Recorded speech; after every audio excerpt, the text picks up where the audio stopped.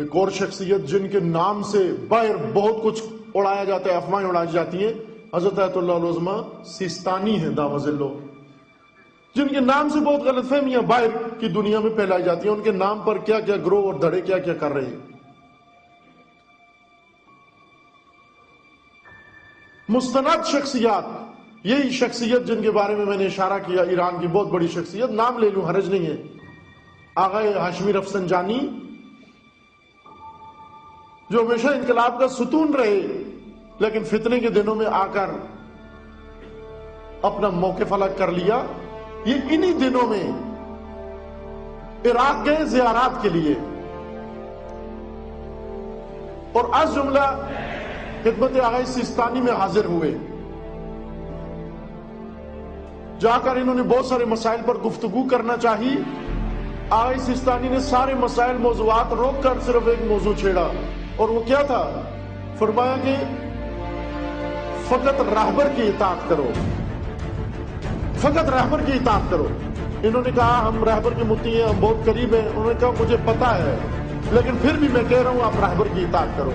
जब इन्होंने गोल मोल करने की कोशिश की आगाई सिस्तानी का, मुझे सब पता है, मुझे अंदर के हालात भी पता है। जिस तरह राहबर की इतात करने का हक है, उस तरह से तुम राहबर की इतात नहीं करते।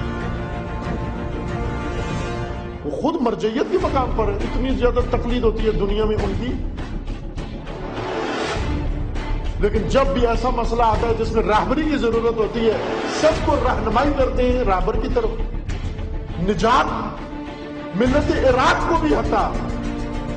अहम मसाइल में कहते रुजू करो रहबर की तरफ़ वली फकीर की तरफ़।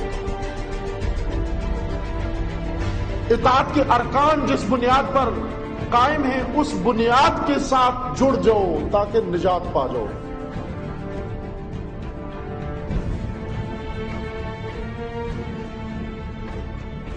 उस उसके साथ जुड़ जाओ।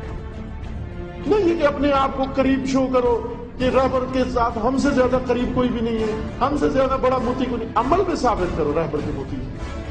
रहबर कोई टूल नहीं है। रहबर कोई अवजार नहीं है। रहबर के नाम पर अपनी दुकानें चलाएँ।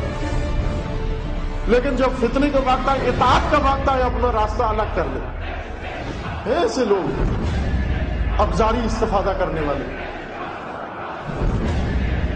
जहाँ ज़रूरत आई रहबर की तस्वीर लगा ली जहाँ मसले समझी उठा दी। टूल तो नहीं